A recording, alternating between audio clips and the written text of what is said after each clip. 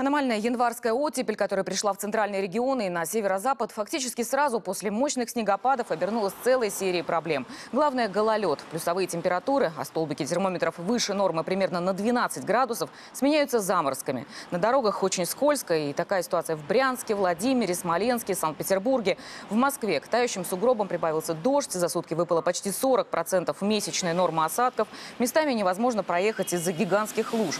Луж сложно передвигаться и по тротуарам, где-то пешеходы предпочитают обходить опасные участки по сугробам.